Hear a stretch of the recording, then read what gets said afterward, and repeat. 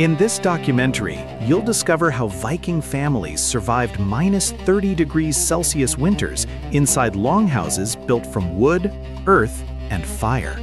From shared warmth with animals to handcrafted heating systems, this journey reveals survival by design, not luck. Make tea, get comfortable, and enjoy the adventure. The winter cold arrives without warning. Outside, the wind cuts across barren hills where temperatures plunge instantaneously to minus 30 degrees Celsius. Against this lethal environment, a massive structure of turf and earth stretches 30 meters across the hostile landscape, a silent sentinel against the frozen void. Inside, a single fire glows, illuminating a family and their livestock near its weak heat. Yet the building holds a warmth that defies the brutal arithmetic of survival. 54 kilograms of birchwood burned daily should vanish into the sub-zero air within hours. Instead, the interior remains stable at 12 degrees Celsius. This is the Viking Longhouse. It functions not merely as a shelter warmed by fire, but as a complex thermal machine engineered for absolute, relentless survival. Yet the thermal physics of this immense structure defy simple explanation. How did the Norse achieve this miraculous stabilization and endure the extreme, relentless chill outside? The rise of the Longhouse coincides with the Viking Age, a historical window spanning from 800 to 1050 CE, a period historians have labeled the medieval climate anomaly. Global temperatures during this era were marginally warmer, enabling the Norse to expand into Greenland and farm the marginal lands previously deemed uninhabitable. But this relative warmth was dangerously deceptive. Catastrophic cold snaps still plunged temperatures down to negative 30 degrees Celsius, demanding total architectural resilience. Therefore, the Longhouse was not engineered merely for average weather. It was a thermal fortress built specifically to endure the worst, most lethal nights of the deepest winter. These were the brutal nights when exposed livestock froze solid outside, when food stores turned to ice, testing the absolute limit of Norse ingenuity. When the climate began its inevitable shift centuries later, the Little Ice Age descended, and even a single degree drop proved enough to shatter their fragile margin of survival. The thermal machine had been running at maximum capacity all along. Once that threshold was crossed, the great Greenland settlements simply collapsed and vanished. Yet the Longhouse adapted to its environment with brutal efficiency, leading to stark differences between the Scandinavian mainland, rich in timber, and the treeless North Atlantic islands. Where trees were virtually absent, builders cut dense blocks of peat called hanaus and strips of grass sod, stacking them into walls over a meter thick to trap the precious heat.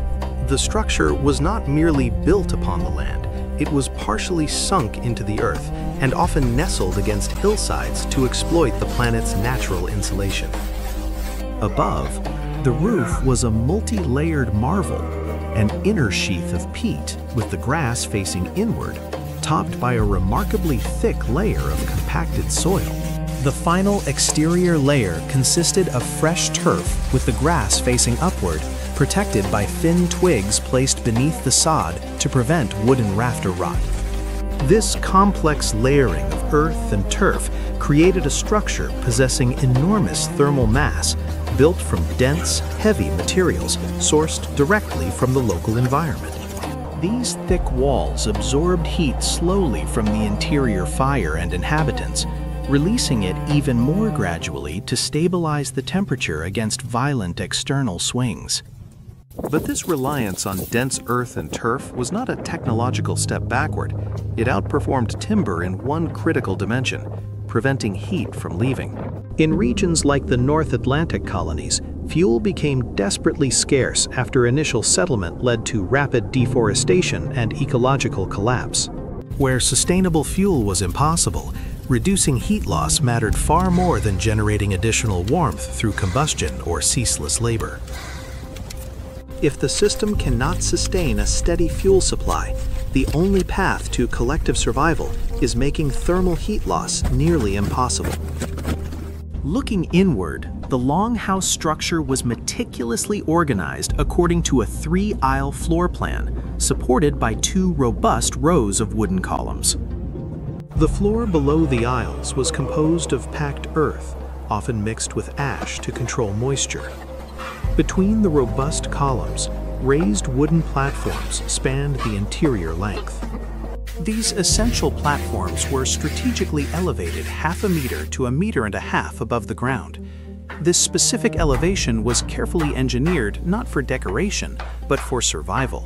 Because colder, denser air naturally settles at ground level, the platform structure strategically lifted inhabitants out of the deadly sub-zero chill zone that perpetually hugged the floor. By maximizing this simple physical principle, the Vikings effectively created a stable, localized microclimate entirely contained within the larger, colder thermal shell of the Longhouse. Modern experimental archaeology has confirmed this ancient wisdom, showing that the critical temperature differences between the platform and the floor could ultimately determine the threshold for survival. The Norse understood that survival demanded extreme thermal efficiency, Openings in the wall would hemorrhage precious heat, forcing them to seal the structure almost completely. Light and necessary ventilation came only from the vindauga, literally the wind eye. These controlled vents near the roof minimized cold air infiltration. Hot gases from the central fire rose immediately, accumulating in a smoky layer near the roof. This allowed noxious smoke to escape through the vent. While fresh, cold air entered at lower levels, the ingenious stratification ensured that the warmest, breathable air remained trapped below the toxic ceiling layer. At the heart of the structure was the Langeldr, the long fire. It provided essential light, cooking capability, and emergency localized warmth, but fuel demands were staggering. Studies confirmed that even during summer, daily household needs required over 54 kilograms of birchwood, a devastating drain on local forests. Projecting that staggering demand across a harsh winter revealed the unsustainable scale of reliance on combustion alone. Deforestation followed Norse expansion. The central hearth simply could not be the primary heat source.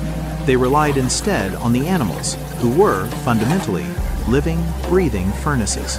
A single cow generates substantial metabolic heat simply by existing.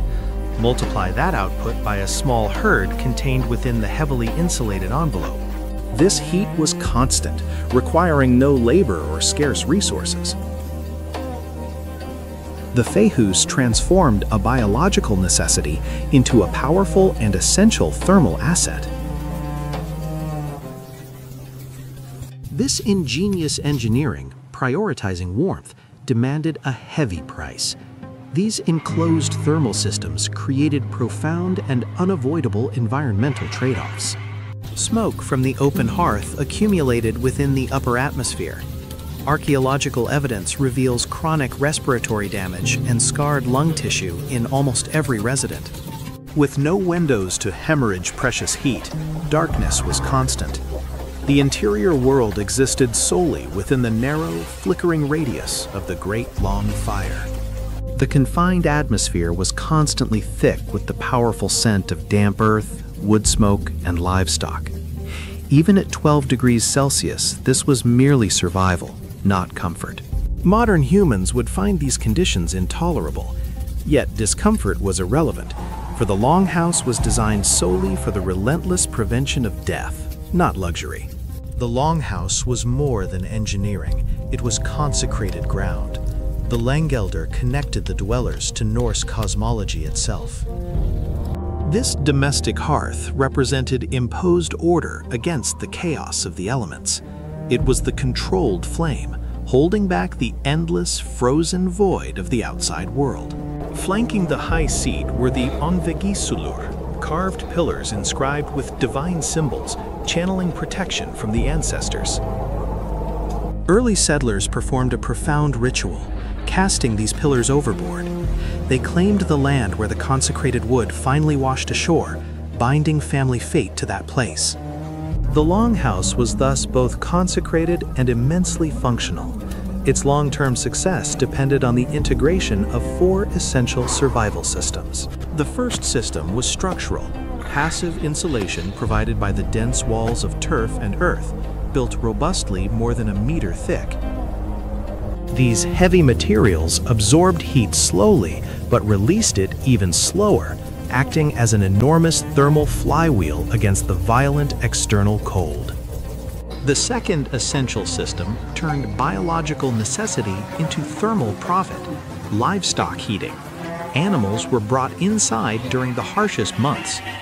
A single cow generates constant metabolic heat simply by existing.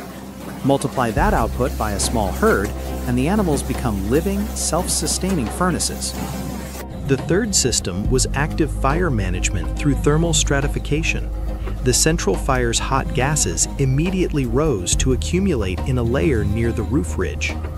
Crucially, beneath this accumulating haze of hot gases, the air remained dense, cooler, and crucially, breathable for the inhabitants sleeping on the raised platforms. The smoke was vented through controlled gaps near the ridge, known as the Vindauga, or wind eye, a deliberate design that became the origin of our modern English word window. The fire, known as the Langeld, served more than merely practical uses. It was central to Norse cosmology, symbolizing imposed order against the frozen void of chaos. Flanking the chieftain's high seat stood the carved Öndvegissúlur, pillars inscribed with divine symbols that were believed to channel ancestral protection into the structure. Early settlers performed a binding ritual, throwing these consecrated pillars overboard upon sighting new land, claiming the territory where they eventually washed ashore. The Longhouse was fundamentally a space of imposed order, simultaneously functional engineering and a deeply consecrated structure channeling ancestral protection. Its survival hinged on the successful integration of four essential thermal systems working in perfect, constant synergy. First, passive insulation provided by the thick turf and earth walls prevented heat loss, making the surrounding land part of the architecture. Second, biological heating, transforming livestock into living furnaces. And third, active fire management, stratifying warm air in the inhabited zone. The fourth critical system was personal insulation, using furs and heavy wool, the final defense against the constant creeping cold. The genius of the Longhouse lay in its critical integration. Remove any single component, the turf, the fire, the livestock, and the entire survival engine failed. When the Little Ice Age descended centuries later, dropping temperatures by only one or two degrees, that razor-thin margin for error vanished. The thermal machine broke. Though the Greenland settlements eventually vanished, for centuries the Longhouse sustained life, holding back the chaos and serving as the consecrated heart of Norse survival. It was a brutal, complex architecture that transformed basic elements, earth, fire, and biological life into a robust, powerful engine of northern survival. Modern experimental archaeology and thermal modeling confirm the truth. The Longhouse was far more thermally effective than previously thought, a forgotten masterpiece of circumpolar engineering.